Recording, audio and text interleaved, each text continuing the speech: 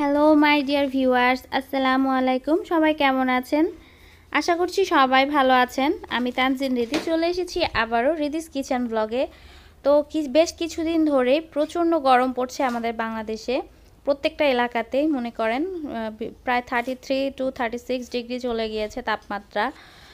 তো এটা আমাদের দেশের জন্য কিন্তু অনেক অনেক বেশি তাপমাত্রা বলা যেতে পারে।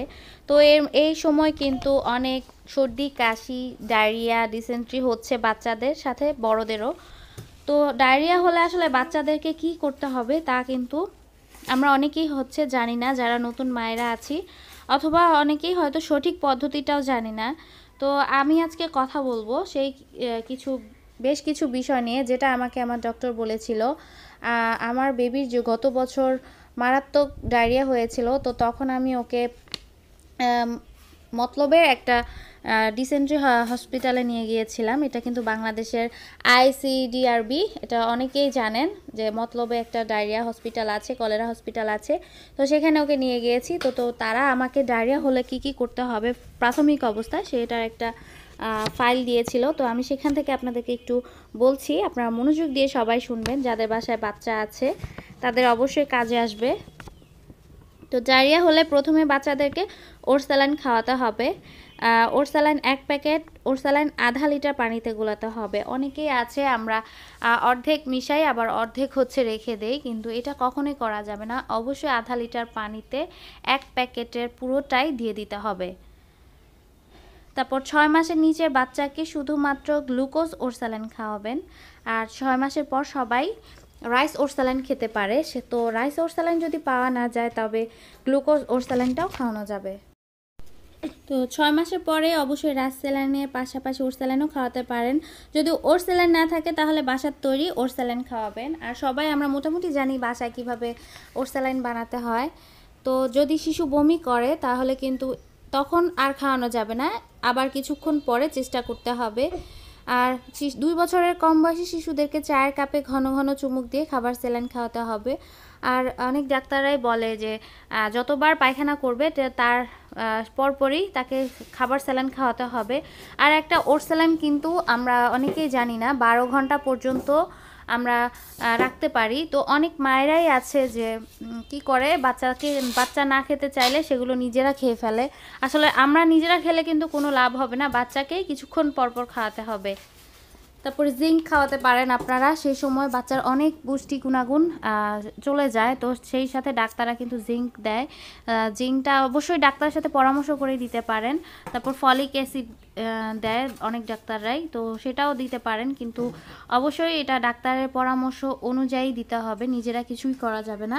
আমরা বাসায় বসে যেটা করতে পারি সেটা হচ্ছে বাচ্চাকে শক্ত যেগুলো যারা যেসব বাচ্চারা ছয় মাসের বেশি হয়ে গিয়েছে, সে সকল বাচ্চারা কিন্তু খিচুড়ি কাঁচা কলা দিয়ে খিচুড়ি রান্না করে খাওয়াতে পারেন। তারপরে হচ্ছে আলু সেদ্ধ করে দিয়ে দেওয়া যেতে পারে, পাকা কলা দেওয়া যেতে পারে। পাকা কলাটা এবং কাঁচা কলা দুটাই কিন্তু তার ডায়েটে রাখতে হবে। আর বাচ্চাকে কোনো অবস্থাতেই বুকের দুধ খাওয়ানো বন্ধ করা যাবে না। ছয় মাস বয়সের পর থেকে রোগী ওর স্যালাইনের পাশাপাশি সব ধরনের স্বাভাবিক খাবারই খাওয়া যাবে। তারপরে যদি রোগীর অবস্থা খুব বেশি খারাপ হয় বা চোদ্দ দিনের বেশি হয়ে থাকে পাতলা পায়খানাটা, সেক্ষেত্রে কিন্তু ডাক্তারের পরামর্শ অবশ্যই নিতে হবে। আর হচ্ছে এটা অবশ্যই খেয়াল রাখতে হবে যে বাচ্চা কখন বাচ্চার অ্যাক্টিভিটিস অথবা খেলাধুলা কমে গিয়েছে কিনা বাচ্চাটা ঘাড় ফেলে দেয়, তাহলে কিন্তু বুঝতে হবে তাকে, তার প্রচুর পরিমাণে পানি ঘাটতি হচ্ছে এবং তার শরীর অনেক দুর্বল হয়ে গিয়েছে, তো সেই সময় তাকে অবশ্যই ডাক্তারের কাছে নিয়ে যেতে হবে।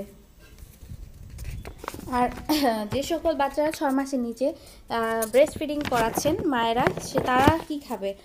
ছয় মাস পর্যন্ত বাচ্চাকে তো শুধুমাত্র বুকের দুধ খাওয়াবেন, অন্য কোনো দুধ বা পানি খাওয়ানো যাবে না। মা যত বেশি খাবার খাবে, বাচ্চাও কিন্তু ঠিক তত বেশি দুধ পাবে। বাচ্চার মা মাছ, মাংস, তরি তরকারি সব কিছুই খেতে পারবে, তাহলে বাচ্চা বেশি দুধ পাবে। আর ঝাল ছাড়া বাচ্চার মা সব ধরনের খাবার খেতে পারেন। খাবারের প্রতি আসলে কোনো বিধি নিষেধ নেই। আমরা অনেকেই মায়েরা আছে, অনেক কিছু বেছে খাই বা অনেকে অনেক কথা বলেন। তো আসলে এগুলো ঠিক না, এগুলো অনেক আগের দিনের কথাবার্তা। ছয় মাস পূর্ণ হয়ে গেলে বাচ্চাকে বাড়তি খাবার তো দিতেই হবে। আর বাচ্চাকে সেই বাড়তি খাবারটা কি? আমরা বড়রা যে খাবার খাই সেটাই হচ্ছে বাড়তি খাবার। বাচ্চাকে প্রতিদিন একটা করে কলা, একটা করে ডিম খাওয়াতে পারেন প্রথম অবস্থায়। প্রথম অবস্থায় নয়, ডিম অবশ্যই নয় মাস পূর্ণ হয়ে গেলে তাকে আস্তে আস্তে করে দেখতে হবে যে তার ডিমটা সহ্য হচ্ছে কিনা, তার হজমে কোনো সমস্যা হচ্ছে কিনা সেটা অবশ্যই খেয়াল রাখতে হবে। তারপর আস্তে আস্তে করে মাছ, মাংস, তরি তরকারি সব কিছু চটকে নরম করে ভাত খাওয়াতে হবে। কম করে হলেও দিনে তিনবার। আর শিশুকে দৈনিক কমপক্ষে ছয়বার খাওয়াবেন। শিশু খেতে না চাইলে ঠেসে ঠেসে জোর করে খাওয়ানো যাবে না। অনেক আদর করে বুঝিয়ে শুনিয়ে খাওয়াতে হবে। তো ভিউয়ার্স অনেক কথাই বলে ফেলেছি। তো আসলে এগুলো আমাকে আমার সেই ডায়রিয়া হসপিটালে বলেছিল।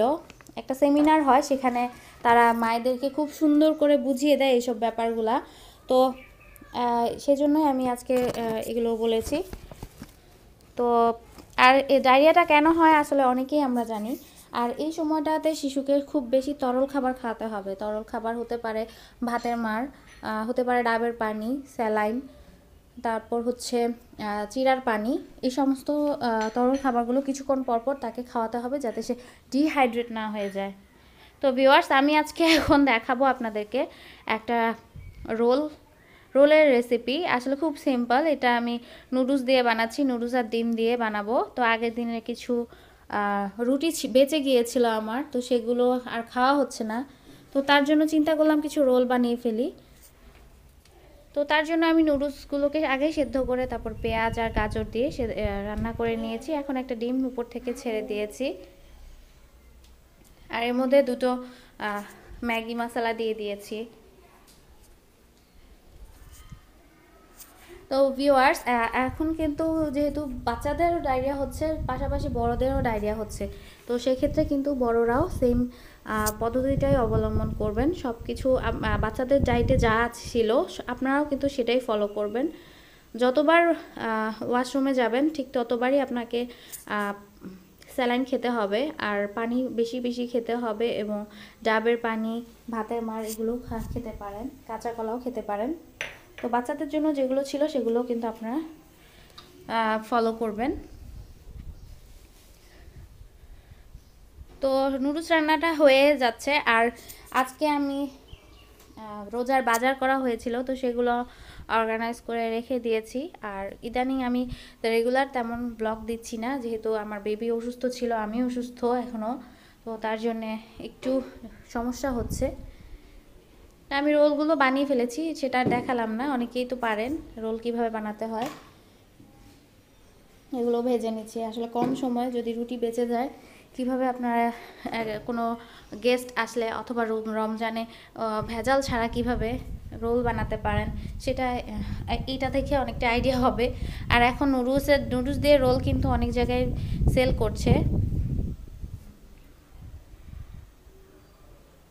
খেতে কিন্তু অনেক টেস্টি হয়। তো সাথে কিন্তু আপনারা চিকেন কিমাও দিতে পারেন অথবা বিফ কিমাও দিতে পারেন।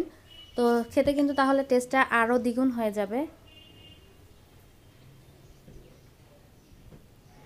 ভিউয়ার্স আর আমার আজকের ব্লগটা যদি আপনাদের ভালো লাগে, তাহলে অবশ্যই আমার চ্যানেলটিকে সাবস্ক্রাইব করবেন। পাশে যে নোটিফিকেশন বেলটি আছে, সেটা প্রেস করে দিবেন। আর অবশ্যই কমেন্টসে জানাবেন কেমন লেগেছে। আর আপনাদের ফ্রেন্ডস অ্যান্ড ফ্যামিলির সাথে আমার আজকের এই ব্লগটি শেয়ার করে দিবেন, তাহলে হয়তো তারাও অনেক কিছু জানতে পারবে। যদিও আমি ডক্টর নই, কিন্তু আমি কিন্তু একটা কথাও আমি আমার নিজের থেকে বলিনি, এগুলো সবই আমাকে ডক্টর বলেছে। এবং আপনারা যদি কোনো প্রুফ চান, তাহলে কিন্তু আমি আপনাদেরকে প্রুফ সহ দেখাতে পারি।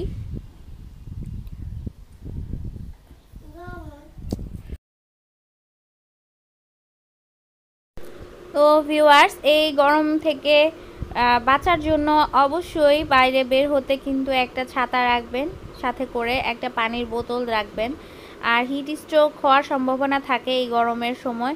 তো সেটাও কীভাবে প্রতিরোধ করা যায়, সেটা আপনারা জেনে নেবেন। অবশ্যই বেশি করে পানি খাবেন, পানি পানি যারা তৃষ্ণার্ত থাকে রাস্তাঘাটে, তাদেরকে পানি দিয়ে সাহায্য করবেন। অনেক গরমের মধ্যে খুব বেশি ভাজা পোড়া, তারপর হচ্ছে মাছ মাংস না খাওয়াটাই বেটার যেটা সহজ, পাচ্য এবং খুব সহজে হজম হয়ে যায়। সেই ধরনের খাবার খেতে পারেন। ডাইটে ফল ফ্রুট সবজি এগুলো বেশি রাখবেন। এই তো, আর গরমের মধ্যে খুব বেশি মাছ মাংস না খাওয়াটাই বেটার আসছে রমজান মাস। রমজান মাসে কিন্তু আমরা ভাজা পোড়া খুব বেশি খেয়ে ফেলি। সারাদিন রোজা রাখার পরে কিন্তু খুব বেশি তেলে ভাজা পোড়া জিনিস খাওয়াটা উচিত নয়। তো সেই সময় আপনারা কিন্তু লাচ্ছি এবং হচ্ছে চিরার শরবত প্রথমেই খেতে পারেন। তারপর আস্তে ধীরে আপনারা তেলের খাবারটা খেয়ে নিতে পারেন, সমস্যা নেই। যেমন আমাদের বাসায় সবাই প্রথমে শরবত খায় ডাবের পানি, চিরার পানি, তারপর লেবুর শরবত খায়, তারপর নামাজ কালাম পরে আস্তে ধীরে আমরা তেলে ভাজা পোড়া জিনিসগুলো খাই। আসলে তেলে ভাজার জিনিস না খেলে এখন আর রোজা রোজ রমজানের মতন মনে হয় না। তাই এই কাজটাই করি। তো আজকের মতন আমি এখানে বিদায় নিচ্ছি। সবাই ভালো থাকবেন। আল্লাহ হাফেজ। আমার জন্য দোয়া করবেন। আমার বেবির জন্য